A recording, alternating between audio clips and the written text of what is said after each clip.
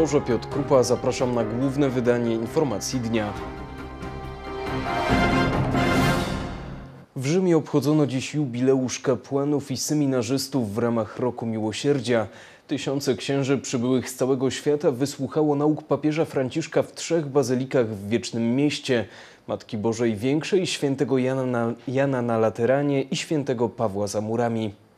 Uroczystości jubileuszu kapłanów w ramach Roku Miłosierdzia rozpoczęły się już wczoraj przejściem przez drzwi święte Bazyliki Świętego Piotra. Kapłani modlili się także w rzymskich świątyniach jubileuszowych. Dziś uczestniczyli w rekolekcjach, podczas których nauki głosił Ojciec Święty Franciszek. Odbywają się one w trzech różnych rzymskich bazylikach większych. Pierwszą z nich papież wygłosił w Bazylice Świętego Jana na Lateranie. Papież zachęcał kapłanów do przyjmowania i przekazywania nadmiarów miłosierdzia. Jedynym nadmiarem w obliczu nadmiernego miłosierdzia Boga jest nadmiar w Jego przyjmowaniu i pragnieniu, aby przekazywać je innym. Ewangelia ukazuje nam wiele pięknych przykładów ludzi, którzy przekraczają siebie, aby zyskać miłosierdzie. Drugie rozważanie dotyczyło rezerwuaru miłosierdzia. Jest nim nasz grzech. Często jednak, jak mówił Ojciec Święty, nasz grzech jest jak sito, jak dziurawy dzbanek, z którego w krótkim czasie wypływa łaska. Bóg niestrudzenie przebacza nawet wtedy, gdy widzi, że Jego łasce nie udaje się zapuścić silnych korzeni w glebie naszego serca, gdy widzi, że droga jest trudna, pełna chwastów i skalista. W trakcie trzeciego spotkania Ojciec Święty zaproponował, by zastanowić się nad dziełami miłosierdzia. Dzieła miłosierdzia są bardzo związane ze zmysłami duchowymi. Modląc się, prosimy o łaskę odczucia i zasmakowania Ewangelii w taki sposób, który czyni nas wrażliwymi na życie.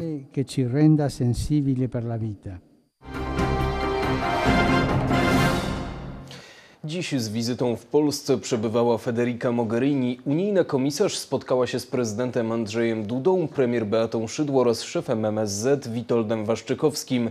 Głównym tematem rozmów był zbliżający się szczyt NATO. Miesiąc przed szczytem NATO w Warszawie gościła Federica Mogherini, wysoki przedstawiciel Unii Europejskiej do spraw zagranicznych i polityki bezpieczeństwa. Najpierw spotkanie z prezydentem Andrzejem Dudą. Rozmawialiśmy o kwestii partnerstwa wschodniego, także w związku z tym i bezpieczeństwa w naszej części Europy oraz współpracy pomiędzy Unią Europejską a NATO. Przy okazji rozmawiano o współpracy między Unią Europejską a Rosją, stabilizacji na Ukrainie. Poruszono również kwestie bezpieczeństwa energetycznego. Ale to nie wszystkie tematy, precyzuje Federica Mogherini. Rozmawialiśmy o wielu kryzysach, które istnieją wokół Unii Europejskiej i roli Polski w rozwiązaniu niektórych z tych kryzysów. Możemy się domyślać, że poruszono problem nielegalnej imigracji. Po spotkaniu z unijną komisarz, szef MSZ Witold Waszczykowski, mówił bowiem tak. Rozmawialiśmy o możliwościach roz, rozwiązania problemów konfliktu izraelsko-palestyńskiego. Ten problem również łączy się z kwestiami, które są w Syrii, w Libii i na całym szerokim Bliskim Wschodzie. Kwestii rozmieszczenia przybyszów Polska stoi na stanowisku, że instytucje unijne nie mogą nam narzucić przymusowej liczby tzw. uchodźców. To może być przyczynkiem, dla którego z kolei Bruksela wszczęła procedurę praworządności, uważa eurodeputowany Marek Jurek. Do tych wszystkich kryzysów, które widzieliśmy ostatnio, pokazujących słabość i obłędną politykę Unii. To znaczy kryzys imigracyjny, w ogromnym stopniu wywołany przez ten zespół kierowniczy Juncker, Mogherini, Merkel. Oni doszli do wniosku, że za wszelką cenę należy wzmocnić władzę Unii Europejskiej nad państwami Europy, to co próbują właśnie teraz wobec Polski robić.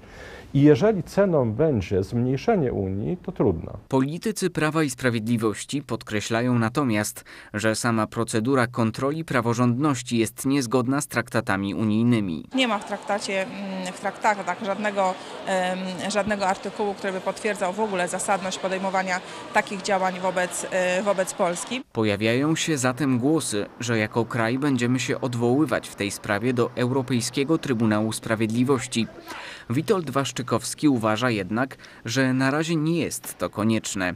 Opozycja jednak szybko zareagowała na taką ewentualność. Ja obserwując to, co się dzieje na arenie międzynarodowej, to co robi PiS przez ostatnie miesiące, to jestem w stanie uwierzyć w to, że pójdzie na jeszcze większe zwarcie, jeszcze większy konflikt z Unią Europejską. Mówi Kamila Gasiuk-Pichowicz z Nowoczesnej. Profesor Janusz Węc z Uniwersytetu Jagiellońskiego potwierdza, że procedura praworządności nie jest zapisana w traktatach unijnych. Procedura została przyjęta jako ramy prawne w marcu 2014 roku i ona faktycznie, y, tak jak twierdzi pan minister Waszczykowski, nie ma podstaw prawnych w traktatach, nie ma inaczej mówiąc statusu traktatowego, ale ona z traktatów wynika. Ekspert podkreśla, że jednocześnie traktaty nie przewidują możliwości odwołania się od opinii. W tej kwestii pozostaje zatem dialog zarówno z Komisją Europejską, ale przede wszystkim dialog polityczny w kraju. W Ostrudzie rozpoczęły się pierwsze w Polsce targi proobronne ProDefense, na których najnowocześniejszy sprzęt wojskowy prezentują polscy producenci. Targom towarzyszy Kongres Organizacji Proobronnych Państw Członkowskich NATO i krajów partnerskich sojuszu. Otwierając targi, minister obrony narodowej Antoni Macierewicz podkreślił, że polscy producenci sprzętu wojskowego są fundamentem procesu odbudowy polskiej armii. Naprawdę jesteśmy w przyszłości w stanie wyposażyć naszą armię w nasz krajowy, polski sprzęt i obronić Polskę przy pomocy naszej armii. Równolegle z wystawą odbywa się Kongres Organizacji Proobronnych Państw Członkowskich NATO i krajów partnerskich sojuszu. To wszystko po to, byśmy mogli zebrać najlepsze informacje do tego, jak powinna wyglądać Polska, y, or, y, polskie oddziały obrony terytorialnej. Po to, by poznać doświadczenia innych krajów w, w zakresie doktryny, finansowania, uzbrojenia. Targi skupiają się na obronie terytorialnej, do której ogromną wagę przywiązuje Ministerstwo Obrony Narodowej. Według zapowiedzi resortu żołnierze Wojsk Obrony Terytorialnej będą mogli liczyć na około 500 zł miesięcznie za uczestnictwo w szkoleniach oraz gotowość bojową. W Ostrudzie swój sprzęt prezentuje 200 firm. Większość z nich to spółki należące do państwowej grupy zbrojeniowej, podkreśla menadżer targów Piotr Czurydło. Myśl polskich producentów, ich e, osiągnięcia e, bardzo często zaskakują.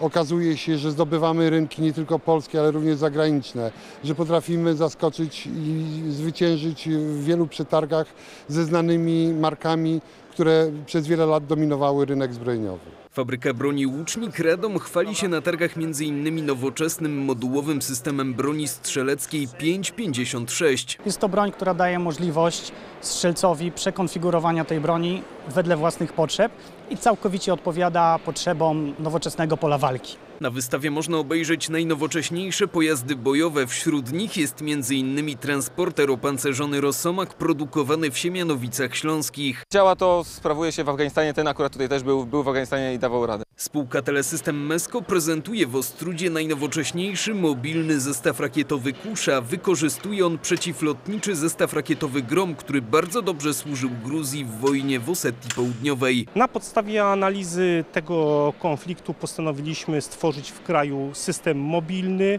łatwy do ukrycia, całkowicie pasywny, taki, który przetrwa y, w czasie agresji agresora i da żołnierzowi do końca możliwość wykonania swojego skutecznego działania. Targi potrwają do niedzieli. Patronat nad wydarzeniem objęły Radio Maryja oraz Telewizja Trwam. Burza w szeregach polskiej dyplomacji. Wielu ambasadorów z kilkumiesięcznym wyprzedzeniem otrzymało już informacje o zakończeniu swojej misji. Wśród nich jest ambasador Ryszard Sznep z placówki w Waszyngtonie, który nigdy nie krył niechęci do nowych władz w Polsce. Po czterech latach z placówki dyplomatycznej w Waszyngtonie zostaje odwołany ambasador Ryszard Sznep. Nowy polski rząd przeprowadza nową wizję polityki zagranicznej Rzeczpospolitej. Aktywna polityka zagraniczna wymaga również zmian personalnych na placówkach zagranicznych Polski, również w Stanach Zjednoczonych. Szczególnie to jest ważne w kontekście zmian w samym Pakcie Północnoatlantyckim, a także w stosunkach dwustronnych Ameryka, amerykańsko-polski. Swoją misję kończą także ambasadorowie w Wielkiej Brytanii, w Niemczech, Francji, Holandii, Belgii, Norwegii, przy Watykanie i w wielu innych krajach. Szef polskiej dyplomacji przyznał dziś w Polskim Radiu, że jest duża rotacja ambasadorów. Około 30 kończy swoje kadencje i większość dostała już informacji o odwołaniu. Ambasador Ryszard Sznepf otrzymał ją w marcu w normalnym trybie. Chciałem uniknąć sytuacji też, jaka przydarzała się poprzednie, w poprzednich latach, również mnie, gdzie na przykład e, próbowano e, kończyć nasze, nasze kadencje w 2-3 tygodnie. Uważałem, że to jest nieludzkie, to jest niezgodne również z protokołem dyplomatycznym. E, więc wszystkim tym, których kadencje kończyły się tego roku, tego lata, informowałem, wysłałem listy już na przełomie e, lutego i marca, czyli 3-4 miesiące temu, aby mieli świadomość, mogli się przygotować, mogli zapewnić jakiś normalny zjazd e, z placówki swoim rodzinom, zakończyć okresy szkolne dla dzieci, więc jest to normalne, tak jak powinno być na świecie, według standardów światowych, zakończenie e, kadencji dyplomatów. Rząd pozbywa się fachowców, dramatyzuje poseł Jan Grabiec z Platformy Obywatelskiej. Jeśli rząd Prawa i Sprawiedliwości oczekuje od polskich dyplomatów, że będą przedłużeniem polityki partyjnej, a nie będą reprezentowali racji stanu Polski, no to wówczas oczywiście wykwalifikowani dyplomaci nie są najlepszym narzędziem realizowania polityki partyjnej. Tyle, że to rząd wybrany w demokratycznych wyborach stoi na straży polskiej racji racji stanu, a ambasadorowie są jego reprezentantami. Tymczasem wypowiedzi ambasadora Sznepfa dowodzą, że nie rozumie on zmian, jakie wprowadza rząd Beaty Szydło, mówi poseł Wojciech Skurkiewicz z Prawa i Sprawiedliwości. Ambasador powinien być urzędnikiem reprezentującym poza granicami nasz rząd, nasz kraj. Jeżeli pan ambasador Sznep e, pokusił się o niewybredne komentarze na temat tego, co dzieje się w naszym kraju, jeżeli e, on również przekazuje informacje o sytuacji w naszym kraju, które nie do końca są w zgodzie z tym, co rzeczywiście dzieje się w naszym kraju. A chodzi między innymi o wpisy, jakie ambasador Sznepf zamieścił na Facebooku po publikacjach na swój temat. W całej tej hecy przypominającej najgorsze momenty w przedwojennej i powojennej historii Polski idzie o odwołanie mnie z funkcji ambasadora w Stanach Zjednoczonych. Fala antysemickich hejtów dotarła za ocean, budząc kontrowersje, a przede wszystkim skutecznie burząc z mozołem budowany przeze mnie wizerunek Polski tolerancyjnej, bez rasizmu i antysemityzmu. Polska nie ma kłopotu z antysemityzmem. Od lat ma za to kłopot z elitami politycznymi, które nie rozumieją polskiej racji stanu. Oto w 2006 roku nie kto inny, ale właśnie Ryszard Sznepf promował budowę gazociągu północnego, czyli rosyjsko-niemieckiego gazociągu pod Bałtykiem. Został za to zresztą wyrzucony z rządu Kazimierza Marcinkiewicza. Z kolei w 2013 roku, będąc już ambasadorem w Stanach Zjednoczonych, zachował się jak partyjny dyplomata, o czym przypomina publicysta Mirosław Król. Nie zgodził się na to, aby mm, udostępnić polskim rodzicom i polskim dzieciom chodzącym do polskich szkół w Waszyngtonie E, budynek, budynku czy sali ambasady, po to, by móc zorganizować uroczystość świąteczną. E, natomiast e, kilka dni wcześniej tą salę udostępnił bez jakichkolwiek, bez zmrużenia oka pani Annę Applebaum, czyli żonie Radosława Sikorskiego. Brak kontaktu z polskim rządem i niezrozumienie zmian zachodzących w ojczyźnie to w dyplomacji rodzaj schizofrenii zawodowej. Jak jednak nazwać próby podsycania społecznych niepokojów w kraju? Tenże dyplomata właśnie zapraszał szefa Trybunału Konstytucyjnego, organizował mu fety różnego typu na terenie ambasady polskiej. No, bardzo żenująca scena. To się wpisuje w tą historię mm, takiej e, nielojalności, wypowiedzenia lojalności wobec rządu przez innego ambasadora w Brukseli, który zapraszał manifestantów KOD na teren ambasady, na schody ambasady, żeby robili manifestacje przeciwrządowe. Stanowisko ambasadora jest stanowiskiem wyjątkowego zaufania. Jak mówi minister Witold Waszczykowski, takiemu urzędnikowi, który działa poza granicami kraju, musi ufać prezydent, premier, szef dyplomacji i Sejmowa Komisja Spraw Zagranicznych. Ambasador nie jest bowiem stanowiskiem pracy chronionej. Agenci CBA w firmach powiązanych z Kulczyk Holding i Ciechem to kolejny etap śledztwa związanego ze sprzedażą Ciechu spółce Jana Kulczyka. W kwietniu ubiegłego roku prokuratura okręgowa w Warszawie wszczęła śledztwo w sprawie prywatyzacji Ciech SA. Stało się to po ujawnieniu nagranej w restauracji Sowa i Przyjaciele rozmowy byłego wiceministra skarbu Rafała Baniaka z lobbystą Piotrem Wawrzynowiczem. Prokuratura sprawdza, czy przy prywatyzacji strategicznej państwowej spółki doszło do korupcji. Przed miesiącem CBA na polecenie prokuratury przeszukało siedzibę jednej ze spółek Kulczyk Holding oraz mieszkania byłego prezesa i byłego wiceprezesa Ciechu. Dziś funkcjonariusze dokonali kolejnych przeszukań, mówi Temistokles Brodowski z CBA. Agenci Centralnego Biura Antykorupcyjnego weszli dzisiaj rano do kilku podmiotów w Warszawie, y, które współpracowały z grupą Kulczyk i ze spółką Ciech S.A. I Tak naprawdę trwają przeszukania. Nasi funkcjonariusze zabezpieczają dokumenty i dane elektroniczne związane z prywatyzacją y, Ciech S.A. Jak nieoficjalnie się dowiedzieliśmy, funkcjonariusze weszli do 10 miejsc w Warszawie. Są to głównie siedziby podmiotów, które wprawdzie nie były formalnie powiązane ani z Kulczyk Holding, ani z Ciechem, ale miały swój udział w procesie prywatyzacji. Między innymi weszliśmy do firmy Cross Media. Te działania robimy na polecenie Mazowieckiego Wydziału Zamiejscowego Departamentu do Spraw Przestępczości Zorganizowanej i Korupcji w Warszawie. Cross Media to firma Public Relation, ma siedzibę tuż przy Sejmie. Jej właściciele pełnili niejako rolę pośredników między Kulczyk Holding i Ciechem. NATO nie dąży do konfrontacji z Rosją. Takie zapewnienie złożył sekretarz generalny Sojuszu podczas wizyty w Niemczech. W Berlinie Jens Stoltenberg powiedział, że planując wzmocnienie swoich sił we wschodnich krajach członkowskich, sojusz nie dąży do konfrontacji z Rosją. Nie jesteśmy w stanie nowej zimnej wojny. Sekretarz generalny NATO wskazywał na działania Federacji Rosyjskiej, które wymagają odpowiedzi. Widzieliśmy Rosję, która była gotowa użyć siły militarnej, by zmieniać granice w Europie pierwszy raz od zakończenia II wojny światowej, nielegalnie anektując Krym. I dlatego NATO musi odpowiedzieć i właśnie to robimy.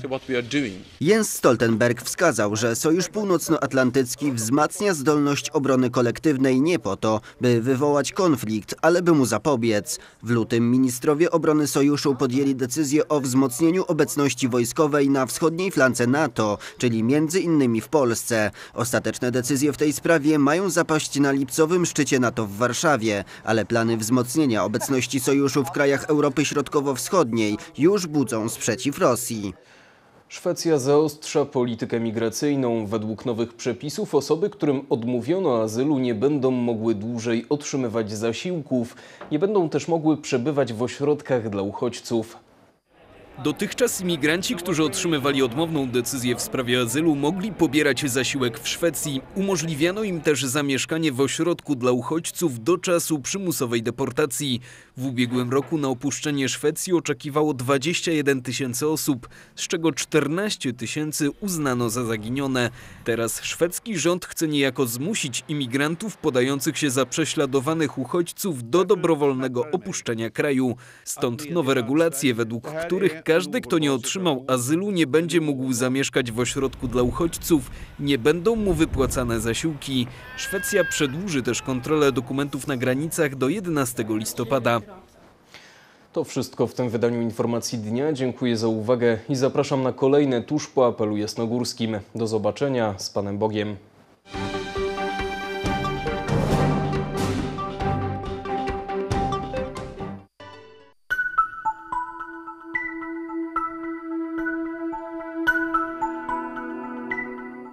Szczęść Boże, Magdalena Rząd, zapraszam na prognozę pogody. Od około 12-13 stopni Celsjusza na północnym wschodzie do 14-15 na pozostałym obszarze. Jutro pogodnie na Pomorzu Wschodnim, na Warmii, Mazurach, a także na Podlasiu. Na pozostałym obszarze dużo chmur z przejaśnieniami i przelotnymi opadami deszczu. W górach możliwe burze. Od 21-22 stopni Celsjusza na wschodzie i południu do 24-25 na pozostałym obszarze. Wiatr słaby i umiarkowany z kierunku wschodniego. Ciśnienie będzie się wahać i wyniesie około 1012 hektopaskali. A teraz zapraszam na prognozę pogody na kolejne dni. W sobotę w całym kraju zachmurzenie duże z przejaśnieniami i przelotnymi opadami deszczu. Burze w regionach zachodnich i południowych. Od 21-22 stopni Celsjusza na wybrzeżu i w Małopolsce do 24-26 na pozostałym obszarze. Powieje słaby i umiarkowany, a w czasie burz silny i porywisty zmienny wiatr. W niedzielę na południu zachmurzenie duże z przejaśnieniami i przelotnymi opadami deszczu. Burze w Małopolsce i na Podkarpaciu. Na pozostałym obszarze pogodnie, ale chłodno. Od 17-19 stopni Celsjusza na północy do około 24-26 na wschodzie, południu i zachodzie. Wiatr słaby i umiarkowany z północy.